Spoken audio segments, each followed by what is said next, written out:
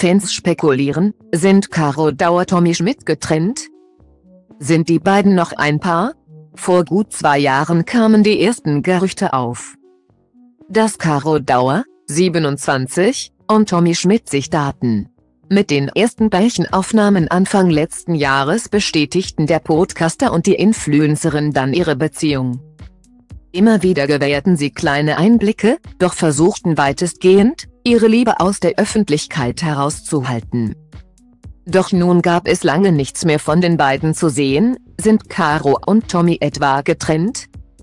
Auf Instagram blieb es in den vergangenen Wochen eher still, was Pärchen Peach angeht. Zwar folgen sich die beiden noch gegenseitig, doch liegen auch keine Beiträge mehr des anderen. Das lässt Fans allmählich aufhorchen.